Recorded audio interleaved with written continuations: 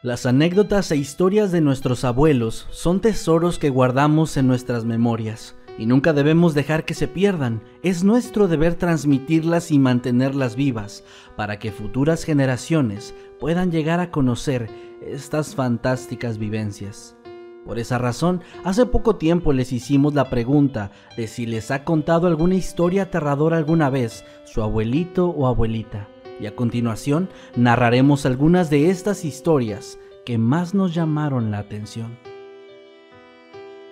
Antes de comenzar, te recordamos que subimos nuevo video cada martes, jueves y domingo, así que suscríbete y activa la campanita y sea así un habitante más de, este, este mundo creepy. ¿Qué tal? Buenos días, tardes o noches. Los saluda su amigo Nightcrawler y su amigo Masketman, y aquí Comenzamos.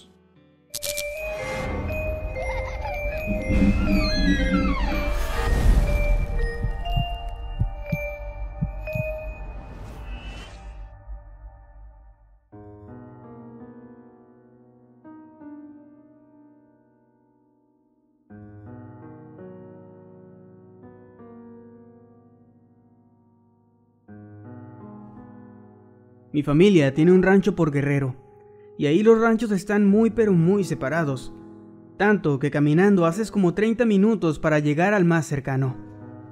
Mi abuelo contaba que cuando era niño, su papá le decía que a las 10 de la noche se tenían que apagar todas las luces y no hacer ruido. También tenían prohibido salir al baño después de esa hora. Una noche, mi abuelito se levantó por la madrugada, ya que escuchó mucho ruido afuera, y como tenían gallinas, vacas y borregos, él se asomó por la ventana para ver qué sucedía, y en ese momento vio como una cosa parecida a un ser humano, aunque diferente. No supo explicarme exactamente cómo era. Estaba parada en la cerca, de espaldas a él. Mi abuelo vio cómo esa cosa giró su cabeza, pero no su cuerpo. Algo así como lo hacen los búhos. En ese momento se quedó viéndolo fijamente mientras caminaba hacia la ventana. En eso mi bisabuelo entró y lo quitó de ahí.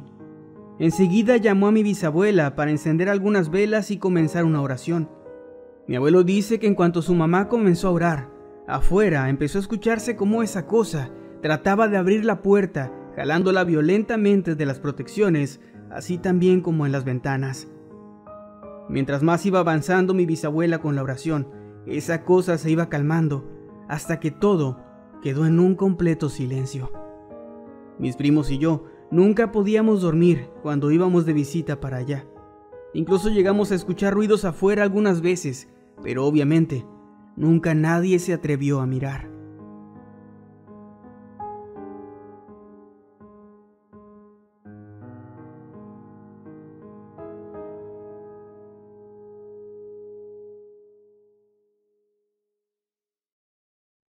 En una ocasión, mientras visitaban un pueblo, mis abuelos se quedaron a dormir en una palapa, pues la noche había caído ya y no podían volver a tan altas horas de la noche. Además de ellos, había otras personas ahí, y todos se acomodaron entre hamacas y el suelo.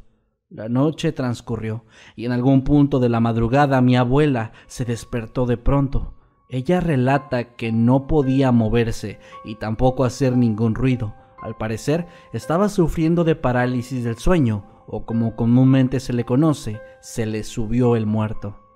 De pronto, notó que a través de uno de los pilares de la palapa se asomaba un extraño brazo, lleno de pelaje, como si se tratara de un animal salvaje.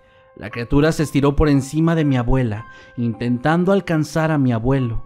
Ella dice que parecía querer hacerle daño, por lo que ella estaba muy desesperada y finalmente logró soltar un grito muy fuerte que despertó a todos. Al levantarse, vio como aquella criatura escapó de ahí y se perdió en la oscuridad. Mi abuela logró ver que era algo cubierto de pelaje y que tenía un par de garras negras. Nadie más que ella lo vio y según lo que ella sabe jamás se volvió a aparecer por ahí, pues ellos viajaban frecuentemente a estos pueblos. Mi abuela dice que cree que se pudo haber tratado de un chamán del pueblo que en aquel entonces tenía un interés por ella, pero todo eso se quedó en una mera especulación.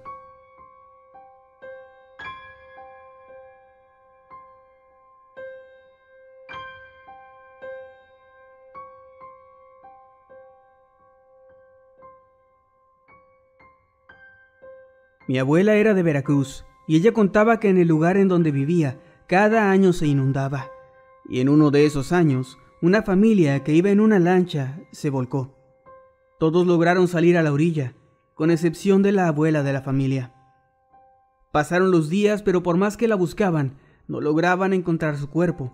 Cerca de la casa había una higuera, y una noche mi abuelita tuvo un sueño en el que vio a la mujer desaparecida, atrapada en las raíces del árbol.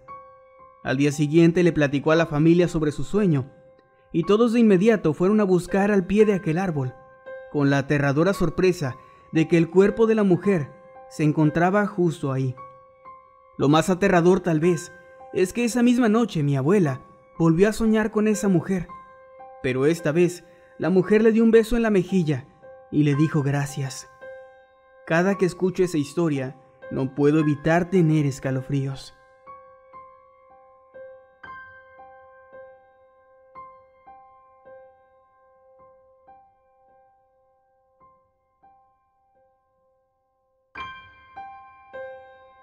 Esto que voy a contar me lo dijo mi abuela paterna en una ocasión donde estábamos juntos varios primos. Cuando ella estaba en casa de su abuela, a quien le decimos tata, se quedaban a dormir junto a sus hermanas en una habitación. Mi abuela dice que Tata era muy bajita y que siempre estaba con su bastón, además de que tenía un carácter bastante fuerte. En una ocasión les dijo a todos los niños que se fueran a dormir temprano, pues de lo contrario les iba a ir muy mal. Mi abuela dice que todos le dieron el avión, es decir, la ignoraron y le dijeron que sí, pero todos permanecieron despiertos.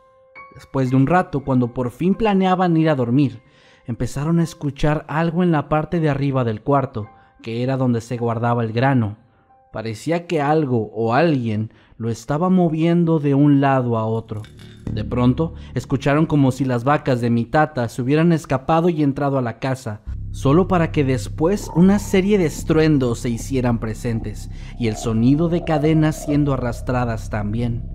Parecía que las vacas estaban rompiendo cosas alrededor de toda la casa. Nadie quiso salir para ver, pero se tomaron las cosas como broma y hasta dijeron que Tata las iba a poner a limpiar en la mañana. En algún punto, los ruidos simplemente cesaron y todos se quedaron dormidos. Por la mañana se levantaron listas para limpiar ese desastre, pero para su sorpresa la casa estaba completamente intacta y las vacas estaban guardadas. Nunca supieron qué fue lo que pasó aquella noche, pero aprendieron una lección muy importante, hacerle caso a Tata cuando les decía que lo mejor es que se fueran a dormir.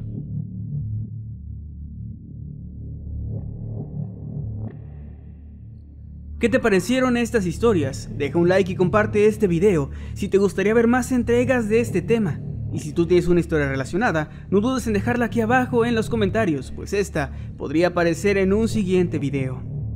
Como siempre agradecemos a quienes se toman el tiempo de enviarnos sus dibujos, memes y fanarts. Recuerda que si tú quieres enviar el tuyo, lo puedes hacer a través de cualquiera de nuestras redes sociales. Los enlaces los encuentras en la descripción de este y de todos los demás videos. A mí me puedes encontrar tanto en Twitter, Instagram y Facebook como arroba Kevin Y a mí como arroba Emanuel-night.